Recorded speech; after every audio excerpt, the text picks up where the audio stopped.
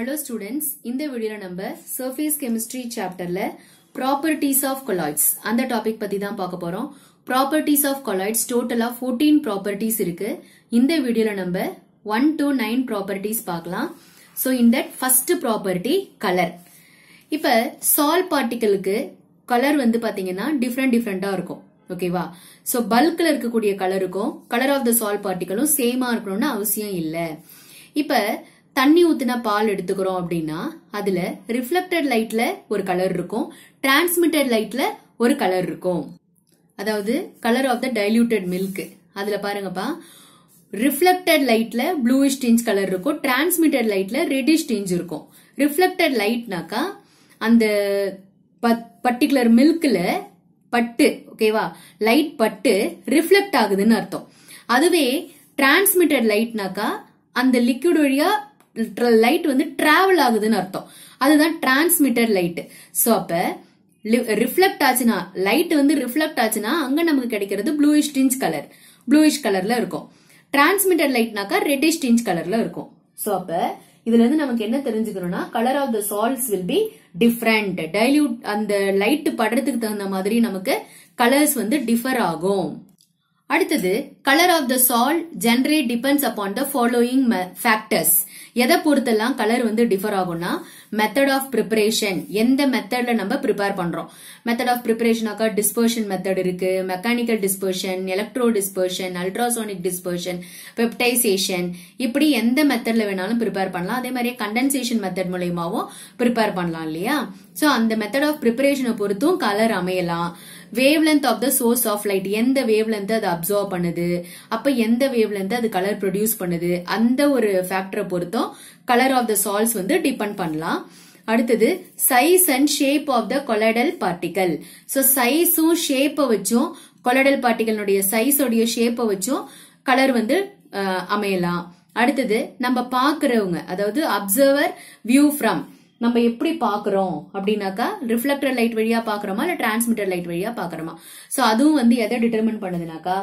Colour of the sol particle ஓகேவா next one வந்து size இப்ப sol பார்ட்டிகளுடைய size one nanometre to thousand nanometre இருக்கலாம். இல்லனாக்கா ten power minus nine metre to ten power minus six metre டயமீட்டர்ல இருக்கலாம். So இது வந்து size of the colloidal particles என்ன ஆகும்? Differ ஆகும். அடுத்தது nature of the colloidal solution அதாவது கொலடல் சொல்யூஷன் பொதுவாகவே ஹெட்ரோஜீனியஸ்னு சொல்லுவோம். ஏன்னா அதுல ரெண்டு டிஸ்டிங் ஃபேசஸ் இருக்கு. அப்படின்னா டிஸ்பர்ஸ்டு ஃபேஸ் இருக்கு டிஸ்பர்ஷன் மீடியம் இருக்கு. இல்லையா? சோ அப்ப நேச்சர் ஆஃப் த கொலாய்ட்ஸ் வந்து ஹெட்ரோஜீனியஸ் தான் அப்படின்றதுக்கு எக்ஸ்பெரிமெண்டல் எவிடன்சஸும் இருக்கு நமக்கு. Dialysis process ultra filtration process ultra centrifuging process இது இதெல்லாம் வச்சு நம்ம என்ன சொல்லலாம்? கொலடல் சொல்யூஷன் அப்படின்றது ஹெட்ரோஜீனியஸ் தான் அப்படின்னு சொல்லலாம். நெக்ஸ்ட் ஒன் ஃபில்டரபிலிட்டி ஃபில்டரபிலிட்டி அப்படின்னா நம்ம ஃபர்ஸ்டே பார்த்தோம். அதாவது அல்ட்ரா ஃபில்ட்ரேஷன்லேயே நான் சொல்லி கொடுத்தேன். அதில் வந்து நம்ம ஆர்டினரி ஃபில்டர் பேப்பர் யூஸ் பண்ண மாட்டோம். ஏன்னா அதில் ஆர்டினரி ஃபில்டர் பேப்பர் வழியாக கொலடல் பார்ட்டிகல்ஸ் டிஃப்யூஸ் ஆகி வெளியில் வந்துரும். அதனால ஆர்டினரி ஃபில்டர் பேப்பர் யூஸ் பண்ணக்கூடாது. ஸோ நம்ம அல்ட்ரா ஃபில்டர் தான் யூஸ் பண்ணணும்னு பார்த்தோம் இல்லையா? அப்போ ஃபில்டரபிலிட்டினா easily they can easily pass through the ordinary filter paper ஏன் ஆர்டினரி ஃபில்டர் பேப்பர்ல ஈஸியா பாஸ் ஆகி வெளியில வந்துடும் பிகாஸ் ஆர்டினரி ஃபில்டர் பேப்பர்ல ஹோல்ஸ் வந்து பெருசு பெருசா இருக்கும்.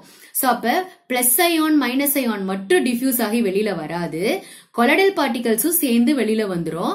அதனால ஆர்டினரி ஃபில்டர் பேப்பர் யூஸ் பண்ணோம்னா அதுல ஈஸியா வந்து கொலடல் பார்ட்டிகல்ஸும் சேர்ந்து வந்துரும். அதனால நம்ம வந்து அல்ட்ரா ஃபில்டர் தான் இதுக்கு யூஸ் பண்ணணும் filtration ப்ராசஸ்க்கெல்லாம் non setting nature non setting nature அப்படின்னா கொலாடல் பார்ட்டிகல்ஸ் வந்து கீழே போய் செட்டில் ஆகாது. சரியா? கீழே போய் செட்டில் ஆகாது. அது அப்படியே வந்து இப்படி இப்படி மூவ் ஆயிட்டே தான் இருக்குமே தவிர மூவ்மெண்ட் தான் கொலடல் கொலடல் பார்ட்டிகல்ஸுக்கு மூவ்மெண்ட்ல தான் இருக்கும். செட்டில் ஆகாது அப்படின்றதுக்கு தான் நம்ம பிரௌனியன் மூவ்மெண்ட் படிப்போம். ஸோ அதை அடுத்த வீடியோல பார்க்கலாம். இதுல வந்து கொலடல் பார்ட்டிகல்ஸ் ஆர் ஸ்டேபிள் அது வந்து கீழே போய் செட்டில் ஆகாம இப்படி ரேண்டம் மோஷன்லயே இருக்கும். Gravity due to the gravity force also என்ன ஆகாது? கீழே போய் செட்டில் ஆகாது. எது? Colloidal particles will not settled down so அதை நம்ம பார்த்துருக்கலாம். அதாவது இப்ப மில்க் இருக்கு இல்லையா மில்க் வந்து எடுத்துக்கிறோம். அந்த மில்க் வந்து பாத்தீங்கன்னா கொலாய்டுன்னு சொல்றோம். அப்ப அந்த மில்க் போயிட்டு ஃபேட் கண்டென்ட் எதுவும் போய் கீழே போய் தங்குறது இல்லை இல்லையா? ஆனா பிரிசிபிட்டேட்டா ஆயிடுதுனாக்கா பிரிசிபிட்டேட் வேற கொலாய்ட்ஸ் வேற நீங்க நல்லா தெரிஞ்சுக்கணும். பிரிசிபிட்டேட் அப்படின்னாக்கா உங்களுக்கு வந்து கீழே போய் செட்டில் ஆகும். இப்ப அதே பால்ல நீங்க கொஞ்சோண்டு லெமன் பிழிஞ்சு விட்டீங்கன்னா அது என்ன ஆயிடும்? அது வந்து பிரிசிபிட்டேட்டா மாறிடும். அப்ப பிரிசிபிடேட்டா மாறுறப்ப அந்த அதுல உள்ள ஃபேட் கண்டென்ட் எல்லாம் கீழே போய் செட்டில் ஆயிடும். ஓகேவா அப்ப நம்ம கொலாய்டை இங்க பிரிசிபிடேட்டா கன்வெர்ட் பண்ணிட்டோம். அப்ப கொலாய்ட்ஸ் வந்து எப்பயுமே கீழே போய் அந்த ஃபேட் கண்டென்ட் மில்க்ல வந்து ஃபேட் கண்டென்ட் ஆர்டினரியா போயிட்டு கீழே போய் செட்டில் ஆகாது. அதே மில்க்ல எலுமிச்சம் பழம் நம்ம புழிஞ்சு விட்டோம்னா பால் திரிஞ்சிருதுன்னு சொல்லுவாங்க இல்லையா? அப்ப வந்து உங்களுக்கு பிரிசிபிடேட்டா மாறிடும் அதே மில்க் அப்ப உங்களுக்கு கீழே போய் என்ன ஆகும்? செட்டில் ஆகும். சோ அதுதான் வந்து பிரிசிபிடேட்டுக்கும் கொலாய்ட்ஸ்க்கும் உள்ள வித்தியாசம். அப்ப கொலாய்ட்ஸ்க்கு வந்து எப்பயுமே நான் செட்டிங் நேச்சர் கீழே போய் செட்டில் ஆகாது. Next topic concentration and density இப்ப பாருங்களேன். அதாவது கான்சென்ட்ரேஷன் ஆஃப் த கொலாய்ட்ஸ் சரியா?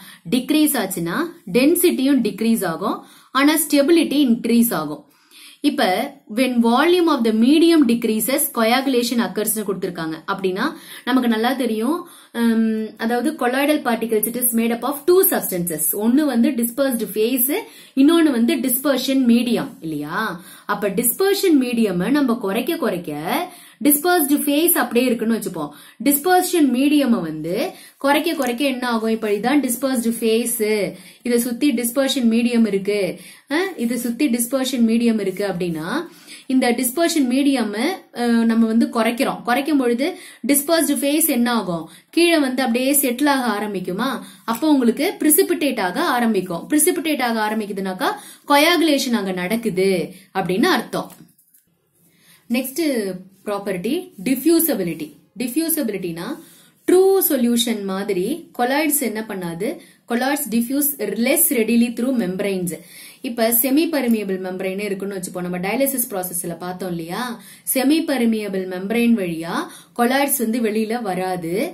ஆனா நமக்கு வந்து பிளஸ் அயான் மைனஸ் அயான்லாம் வெளியில வந்துடும் இப்ப அதுவே நம்ம ட்ரூ சொல்யூஷன் எடுக்கிறோம்னா ட்ரூ சொல்யூஷன் அதுல இருந்து டிஃப்யூஸ் ஆகி வெளியில வந்துடும் ஆனா எது வராது?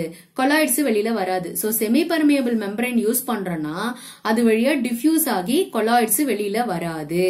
ஓகேவா சோ ஈஸியா டிஃப்யூஸ் ஆகி வெளியில வராது. சோ இந்த மாதிரி டிஃப்யூஷன் ப்ராசஸ் வந்து நம்ம நிறைய இடத்துல பார்க்கலாம். நம்ம போன்ஸ்ல கூட கால்சியம் வந்து டிஃப்யூஸ் ஆகும். ஸோ அந்த மாதிரிலாம் நிறைய விஷயம் இருக்கு. ஸோ இந்த டிஃப்யூசபிலிட்டி அப்படின்றது கொலாய்ட்ஸ் வந்து சீக்கிரமா டிஃப்யூஸ் ஆகாது. இப்போ ஃபார் எக்ஸாம்பிள் நம்ம வந்து இந்த டீ வடிகட்டுறோம்னு வச்சுப்போங்களேன் ஒரு இடத்துல நீங்க டீ வந்து ஃபில்டர் பண்றீங்க. ஒரு இடத்துல வந்து ஜஸ்ட் வாட்டர் ஃபில்டர் பண்றீங்கன்னா வாட்டர் வந்து ஈஸியா வந்து ஃபில்டர் ஆயிடும். ஸோ இப்போ அந்த அந்த வாட்டருக்கே வந்து சுகர் சொல்யூஷன் வச்சுப்போம். அது வந்து நீங்க வடிகட்டுறீங்கன்னா அது ஈஸியா நம்ம என்ன பண்ணிடலாம்? டிஃப்யூஸ் ஆயிடும். ஆனா இது வந்து என்ன ஆகாது? டீ டீ போடுற அந்த அந்த டீ இருக்கு இல்லையா? அது வந்து உங்களுக்கு சீக்கிரமா டிஃப்யூஸ் ஆகாது. வாட்டர் வர்ற அளவுக்கு சீக்கிரமா அது டிஃப்யூஸ் ஆகாது. அப்ப அந்த ரேஷியோ ஆஃப் த டிஸ்டன்சஸ் அந்த டிஃபரன்சஸ் பார்க்கும் பொழுது டிஃப்யூசபிலிட்டி டிஸ்டன்சஸ் டிஃபரன்ஸ பார்க்கும் பொழுது கொலாய்ட்ஸுக்கு டிஃப்யூஸ் ப்ராப்பர்ட்டி அப்படின்றது கொஞ்சம் கம்மியா தான் இருக்கு அப்படின்னு சொல்றாங்க. Next property colligative property colligative property நீங்க லாஸ்ட் இயர் 11th ஸ்டாண்டர்ட்ல படிச்சிருப்பீங்க. சொல்யூஷன் லெசன்ல படிச்சிருப்பீங்க. It depends upon the number of solute dissolve in the solvent எவ்வளவு சால்வெண்ட் நம்ம எவ்வளவு சொல்யூட் சால்வெண்ட்ல டிசால்வ் பண்றோம் அப்படின்றத பொறுத்து தான் அந்த ப்ராப்பர்ட்டி அமையும்னு. சோ அதை பொறுத்து தான் elevation of boiling point depression and freezing point osmotic pressure இதெல்லாம் அமையும். So colloidal property is colloidal particles is also exhibiting colligative property அப்ப ஆஸ்மாட்டிக் பிரஷர் மூலயமா நம்ம எதனுடைய மாலிகுலர் வெயிட்டை டிட்டர்மைன் பண்ணலாம்னா கொலடல் பார்ட்டிகல்னுடைய மாலிகுலர் வெயிட்டை டிட்டர்மைன் பண்ணலாம்.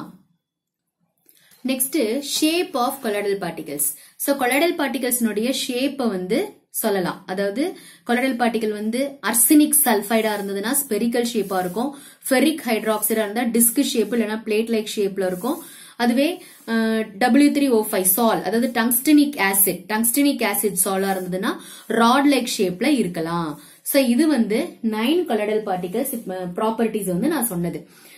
கொலடல் ப்ராப்பர்ட்டிஸ் இப்ப நம்ம பார்த்தோம். சோ நெக்ஸ்ட் வீடியோல ஆப்டிக்கல் ப்ராப்பர்ட்டிஸ் கைனடிக் ப்ராப்பர்ட்டிஸ் எல்லாம் நெக்ஸ்ட் வீடியோல பார்க்கலாம். Okay thank you children